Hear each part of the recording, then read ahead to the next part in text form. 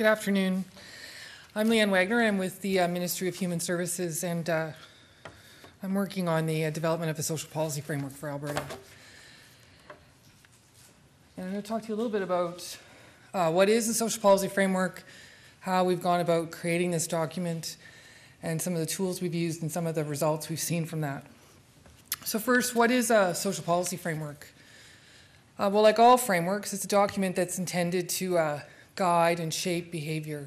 And the Premier often talks about the social policy framework as being a blueprint uh, for the future of social policies and programs here in Alberta.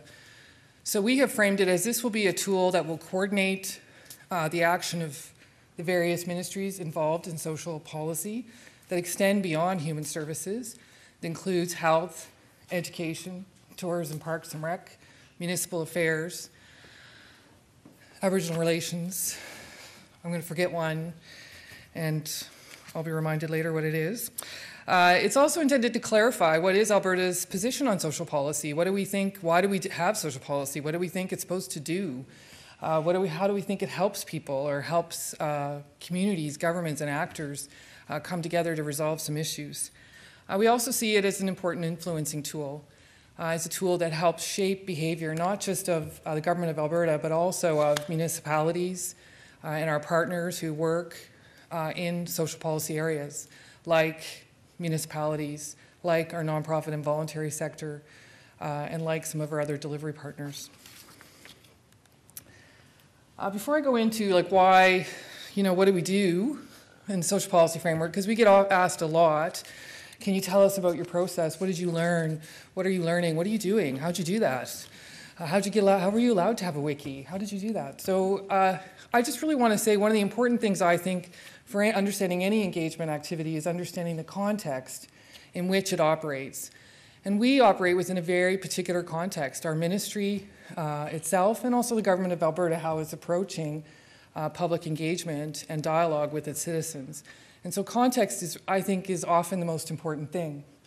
You know, why, I, you know, uh, Tracy explained the context for how they came together to create those coalitions that may or may not be true for your situation.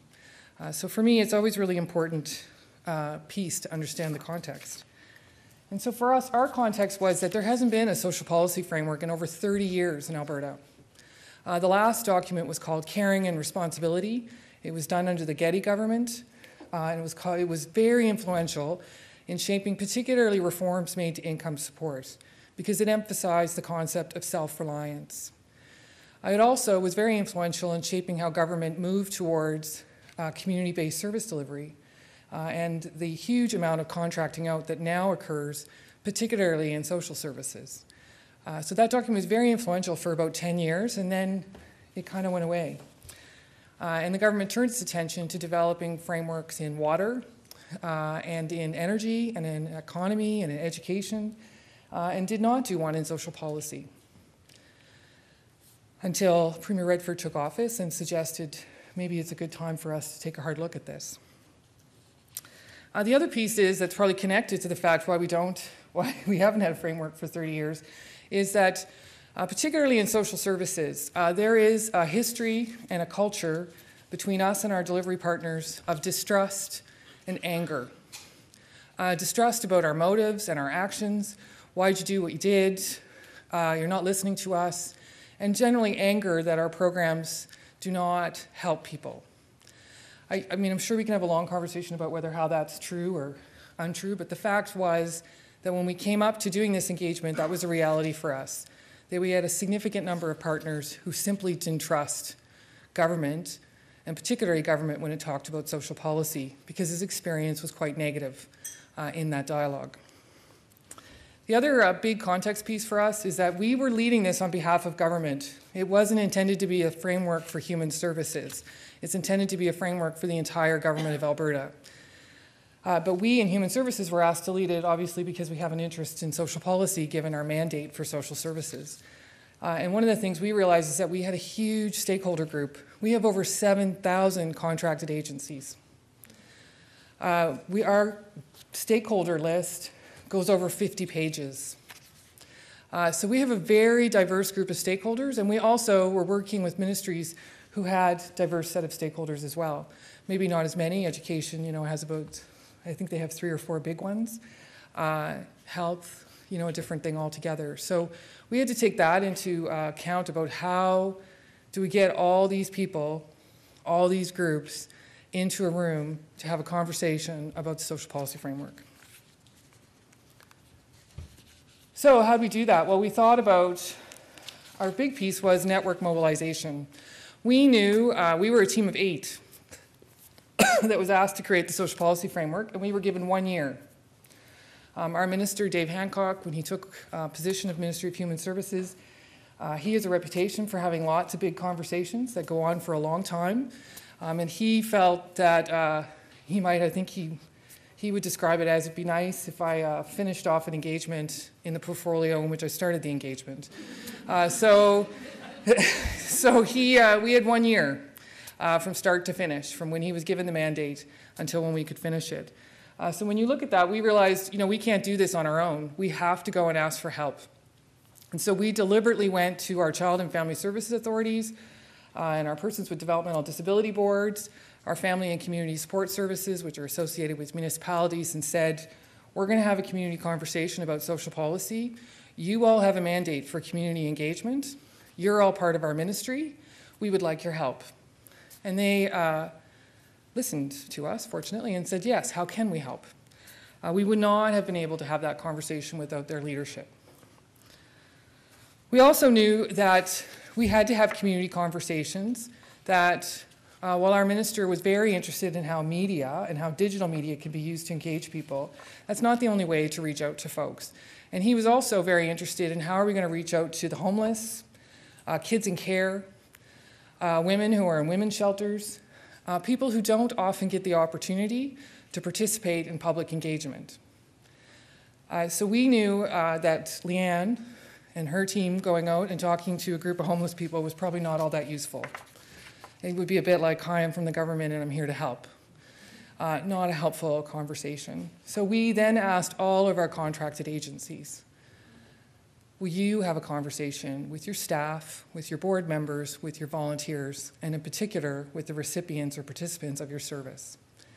And they said yes. Uh, we also, in recognition that many times there's a burden for marginalized people, uh, for anyone actually, to participate in a community engagement activity, uh, that we gave them a grant of $750 to host those conversations, to pay for childcare, to pay for transportation, to pay for the room, to pay for the food, to pay for whatever they felt they needed. Uh, we have run through three pots of that money. Uh, we started off with 50,000. Uh, we cleared it out in about a month. Uh, we had to go back and say we need some more because the take up was so much. We also put together an online platform that on that because our minister is very interested in how uh, digital media and the web can engage citizens uh, in policy making. And so he asked for a wiki, and we said, yes, minister, of course. and then went back to the office and said, oh, what, is, what, is what are we going to do with the wiki? Like, what is he talking about? We've said that to him, so I can say that to you. Uh, and he, so uh, and he wanted a really true wiki. He because we said, what do you mean, like Wikipedia wiki? And he said, yeah, that's what I mean. I want a wiki. Uh, so we agreed, said, sure, let's get that, put that together. And so we have uh, the government of Alberta's first ever wiki, where we loaded on uh, the work that we had done already with the social policy. We had put some words to paper and posted on there and said to people, edit away. You can change those words. You can contribute to someone else's words. You can comment on our words. You can comment on other people's words. You can write a blog. You can take a survey. You can send us an email. Uh, you're welcome to do whatever you like here. It's, a, it's just another place to meet and have a conversation. Uh, the other big piece is that our ministry, and also the government of Alberta, but in particular our ministry, has over 7,000 staff. And those staff work all across the province of Alberta in very diverse uh, portfolios ranging from childcare to business engagement uh, to labor training uh, to child intervention. And they, have, they live in their communities, they have relationships in their communities, uh, and they have a perspective on social policy. And we asked for them to, one, go out and have conversations, which they did, And we also said we're interested in your voice in this conversation. You have a unique set of expertise that we want to hear from. Uh, so they have their own private wiki uh, that they're, they, don't, they can choose to participate as a citizen or they can choose to participate as a staff person. It's entirely up to them. Uh, and if we had another opportunity and longer time, I could talk to you about some of the learnings from that because that was a whole other set of learnings about staff engagement. So in the first phase, uh, we broke it down into where are we going, vision and outcomes, and how will we make decisions together, the principles. So we broke the conversation up uh, because we wanted to give sufficient time for people to talk. Uh, so in the summer, we focused on those first two pieces. And what I will say about we started in the summer, and when we started on this, uh, people said to us, "Oh, you can't have a public engagement in the summer. You can't do it. It's wrong. Albertans are camping or doing something." They won't want to talk to you. And so when we pursued that line of thinking with people, they would say, really what we learned was that there's only one week in October that you can actually engage with Albertans because every other time they're busy. And so we just said, well, this is, we, we're just going to go because we're not, we can't do it a week in October. We have a lot of time, a lot of people, we got to go. Uh, so we spent the summer on that. And then in the second part, we focused on strategies and roles and responsibilities. And we're engaged in that conversation right now until November 16th. Uh, so what we had was we gave people discussion kits, uh, just as many of the other partners here have done. We had a discussion kit. Uh, but what we told people is if you don't like our questions, change them. Uh, but just try to stay in the field of play that we're in. Uh, we understand that we don't talk the way that someone maybe with mental health or a person with a learning disability is going to talk about vision and outcomes. We get that. Uh, but you, uh, as a staff person in that agency, know how to translate that. Use your expertise to help us here. Uh, so they did, and we had feedback. We had videos, we had poems, we had drawings.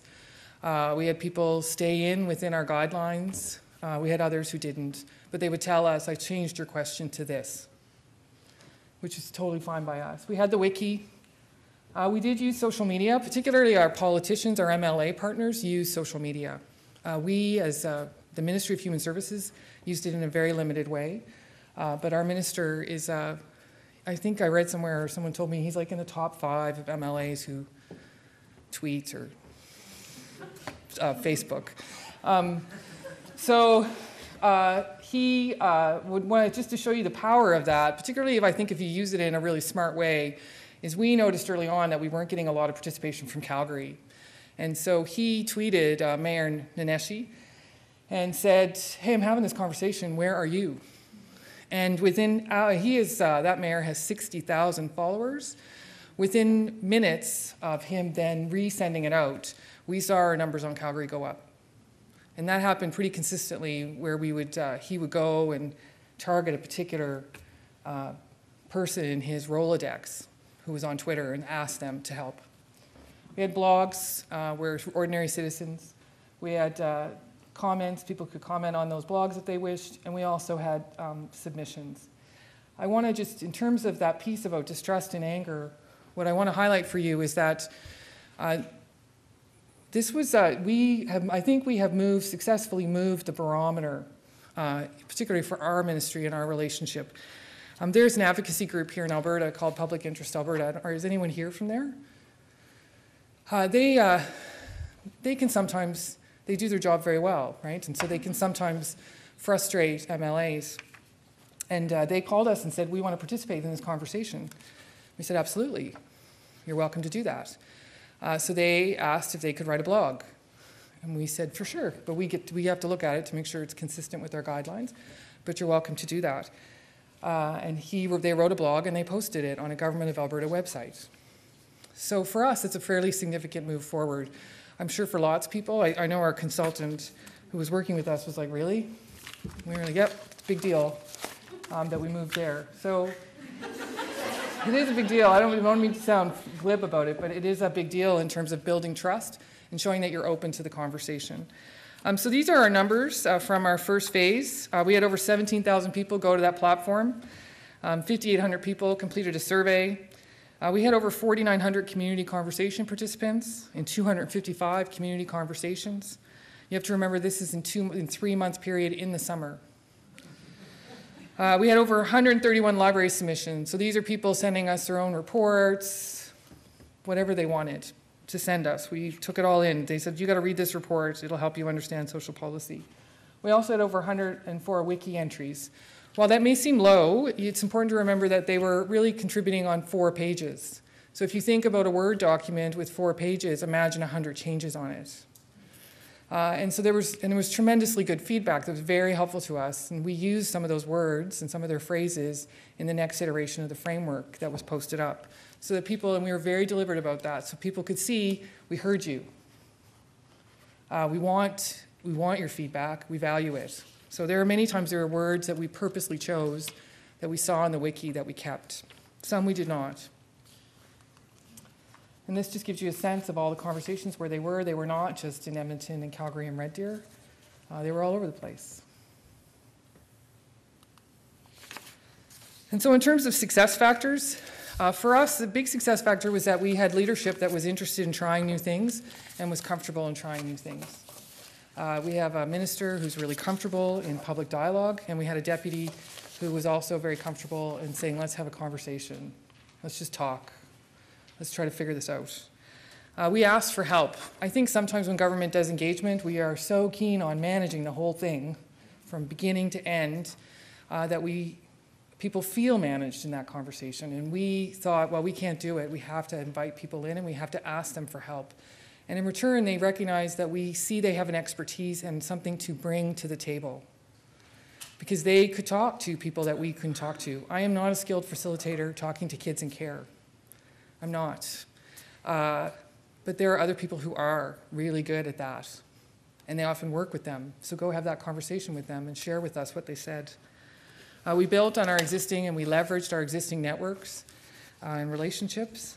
And we also, uh, in every opportunity, demonstrated that we were here to listen. Uh, we uh, invited ML. MLAs could have a conversation, but they often didn't lead it. Uh, we would facilitate those for them, and they would participate as individuals in those conversations. And in some cases, uh, regard in the South, where there aren't uh, very many government MLAs right now, uh, those MLAs were invited to participate in the conversation as well.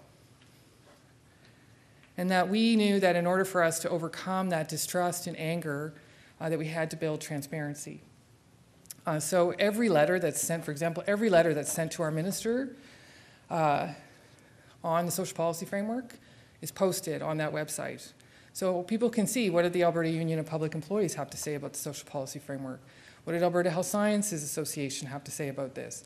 What did the Police Commission of Alberta, the chairs of all those commissions, have to say about social policy? What did the Unitarian Church of Edmonton have to say?